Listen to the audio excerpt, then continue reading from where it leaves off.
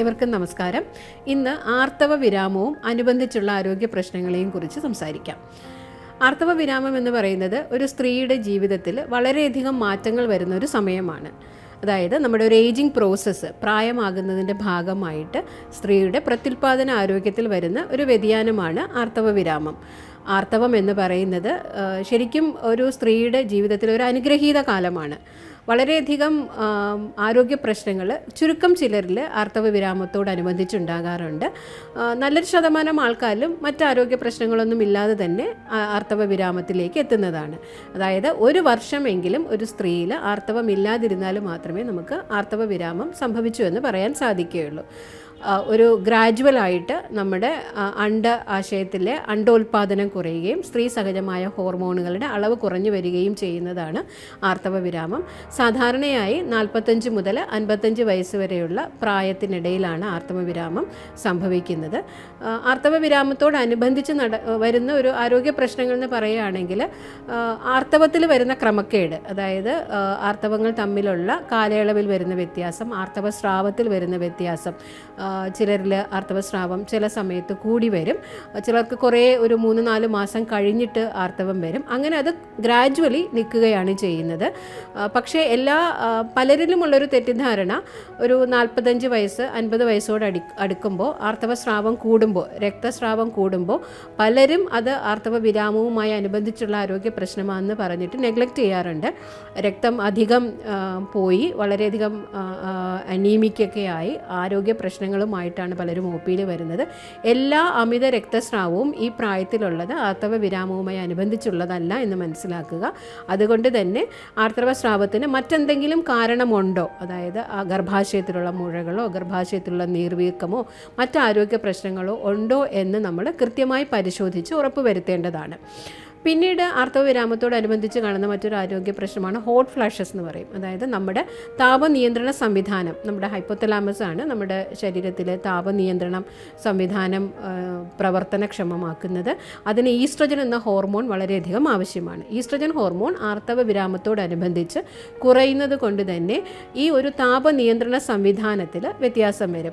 പലപ്പോഴും പലർക്കും രാത്രി കാലങ്ങളിൽ ഉറക്കത്തെ തടസ്സപ്പെടുത്തുന്ന രീതിയിൽ ചൂട് വിയർപ്പ് അനുഭവപ്പെടുകയും അത് നല്ലൊരു ശതമാനം പേരിലും സാധാരണ അത് കുറഞ്ഞു വരികയും പെട്ടെന്ന് മാറുകയും ചെയ്യും.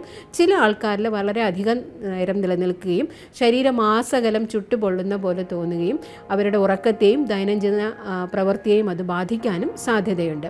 പിന്നീട് നമ്മുടെ ഈസ്ട്രജൻ എന്ന ഹോർമോൺ നമ്മുടെ എല്ലുകളുടെയും അതുപോലെ തന്നെ നമ്മുടെ മാനസികാരോഗ്യത്തിനെയൊക്കെ നിയന്ത്രിക്കുന്നതിന് വളരെയധികം സഹായകമാണ്. ഈസ്ട്രജൻ എന്ന ഹോർമോൺ കുറഞ്ഞു വരുന്നത് കൊണ്ട് ആർത്തവത്തോടനുബന്ധിച്ച് അതായത് ആർത്തവ വിരാമത്തോടനുബന്ധിച്ച് മാനസിക അസ്വസ്ഥതകൾ ആങ്സൈറ്റി അതുപോലെ തന്നെ പെട്ടെന്ന് ദേഷ്യം വരിക ഷോർട്ട് ടെമ്പേർഡ് ആവുക ചെറിയ കാര്യങ്ങളിൽ തന്നെ പെട്ടെന്ന് ഒരു മാനസിക വൈഷമ്യം വരിക അങ്ങനെയുള്ള ഒരു മാനസിക അസ്വസ്ഥതകളും ചില ചുരുക്കം ചിലരിൽ കാണുന്നുണ്ട്.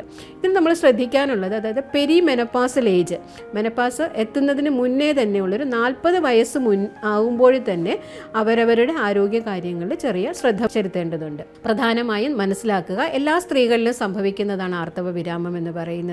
പലപ്പോഴും പലരും അവരവന്റെ ഈ ആർത്തവ വിരാമത്തോടനുബന്ധിച്ച് യൗവനം നഷ്ടപ്പെട്ടു ലൈംഗികാരോഗ്യം നഷ്ടപ്പെട്ടു.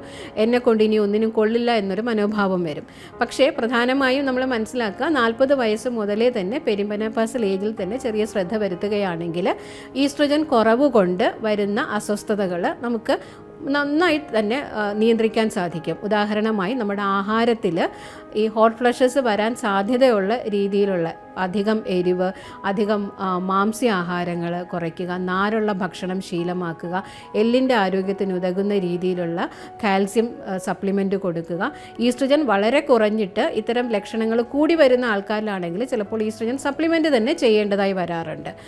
പിന്നീടുള്ള ശ്രദ്ധിക്കാനുള്ളത് നമ്മുടെ സ്കിന്നിന്റെ ആരോഗ്യമാണ്. ഈ സമയത്ത് ഈസ്ട്രജൻ കുറയുന്നത് കൊണ്ട് സ്കിൻ ടെക്സ്ചർ മാറാൻ സാധ്യതയുണ്ട്. അതുകൊണ്ട് പെരിമനപ്പാസൽ ഏജിൽ തന്നെ നമ്മുടെ സ്കിന്നിന്റെ ഹെൽത്ത് നിയന്ത്രിക്കുന്നതിന് വേണ്ടിയിട്ടുള്ള ഔഷധങ്ങൾ കൊണ്ടിട്ട് പുറമെ മസാജ് ചെയ്യുക കറ്റാർവാഴ പാച്ചോറ്റി ചെറുള ഇവയൊക്കെ അടങ്ങിയ ഔഷധങ്ങൾ ഉപയോഗിച്ചുള്ള പുറമേയുള്ള ലേപനങ്ങൾ പ്രയോഗിക്കാവുന്നതാണ്.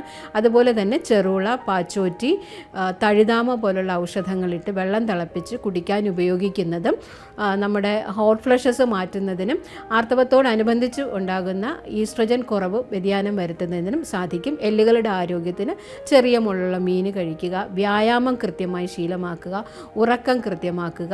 ഇങ്ങനെ ജീവിത ശൈലിയിൽ ഒരു നാൽപ്പത് വയസ്സ് മുതൽ തന്നെ ചെറിയ ചെറിയ വ്യതിയാനങ്ങൾ വരുത്തുകയാണെങ്കിൽ മെനപ്പാസുമായിട്ട് അതായത് ആർത്തവ വിരാമവുമായി അനുബന്ധിച്ചുള്ള ആരോഗ്യ പ്രശ്നങ്ങൾ നമുക്ക് ഒരു പരിധി വരെ ഒഴിവാക്കാൻ സാധിക്കും.